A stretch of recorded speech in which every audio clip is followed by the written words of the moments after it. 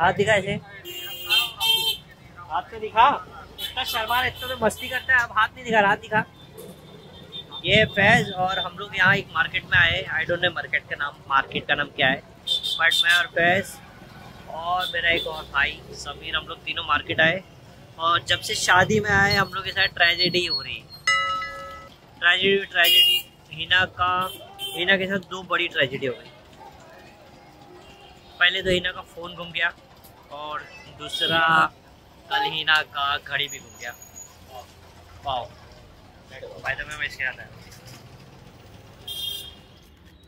पूरे बरेली यूपी में ये तो कॉमन है हैंड पंप पहले पहले मुंबई में भी ऐसा आम था, हर जगह हैंड पंप दिखते थे। मेरी वाट लगी, क्या हो रहा है? इम्पोर्टेंट मोनी इम्पोर्टेंट ये है कि मैं आया हूँ Bareilly district hospital I guess यही नाम है, मुझे पता नहीं।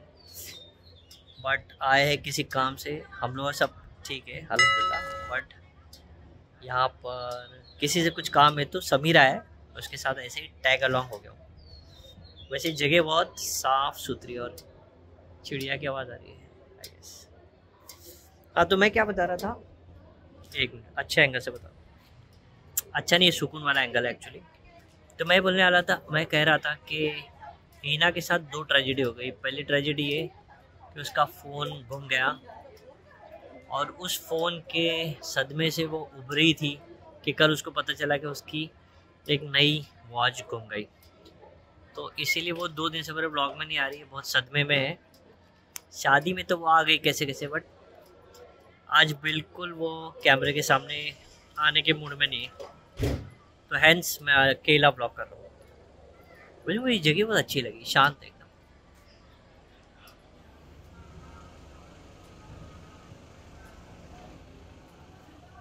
अभी फ़िलहाल यहाँ करने को कुछ है नहीं तो मैं एक जितने भी यंग ब्लॉगर्स हैं मतलब न्यू ब्लॉगर्स हैं, उनको मैं एक ब्लॉगिंग टिप्स देना चाहता हूँ।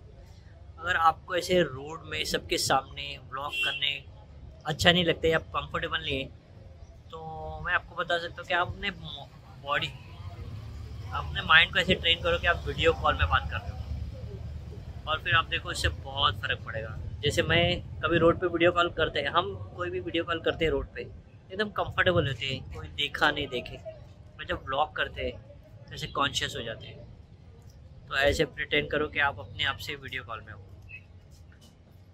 तो सामने वाले भी पीछे, आगे पीछे वाले भी इग्नोर करते हैं आपको। जैसे ये लोग ने मुझे इग्नोर कर दिया। सबसे इम्पोर्टेंट काम शादी के बाद का मुझे।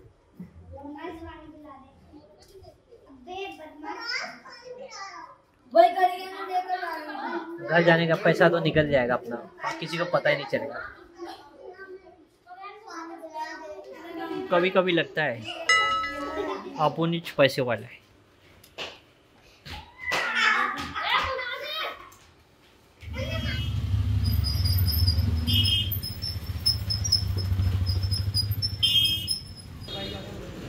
ना, खाली।